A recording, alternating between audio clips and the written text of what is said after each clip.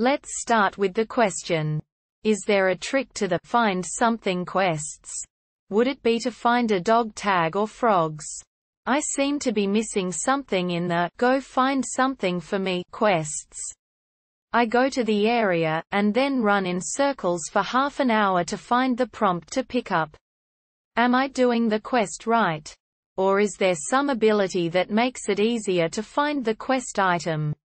Something like asking your party to look for the thing instead of tagging along with me whining that it's cold and rainy. So how can we solve this?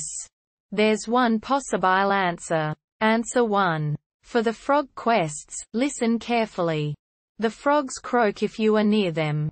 The louder they are the closer you are. For the dog tags.